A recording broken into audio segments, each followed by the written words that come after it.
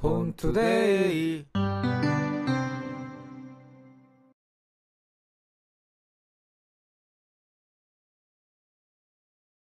우니코의 아이폰 5 dailies 클래식 카드 지갑형 다이어리 케이스를 소개해드리겠습니다.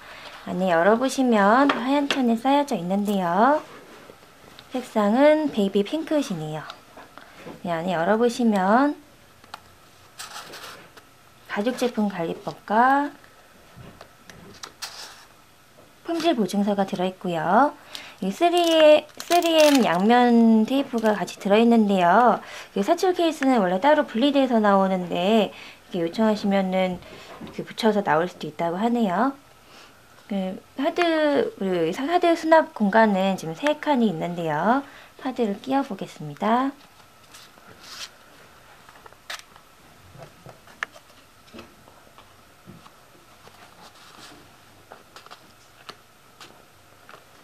카드가 들어갔고요. 아래쪽에 한 칸이 더 남아 있고요. 옆쪽에 보시면 지폐를 끼울 수 있는 수납 공간이 또 따로 있으신데요. 지폐를 넣어 볼게요. 지폐가 들어갔고요. 그 사출 부분은 하드 케이스로 그 아이폰 케이스를 아이폰을 장착해 보겠습니다. 케이스가 꼭 맞고요. 그 보시면은 그 사출 부분에 이형이 전혀 없게 맞게 제작이 되어 있으십니다.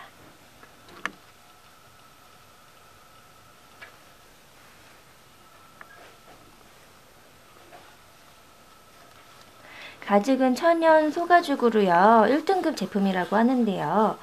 자연스럽고 부드러우신데 지금 이 베이비 핑크 색상 같은 경우는 서피아노 가죽으로 제작이 됐다고 하네요. 어, 심심하지 않고 굉장히 질감이 괜찮습니다. 이런 빗살무늬 케이스 같은 경우는 그 마모나 스크래치에 강하다고 하는데요. 사용해봐야 알겠죠?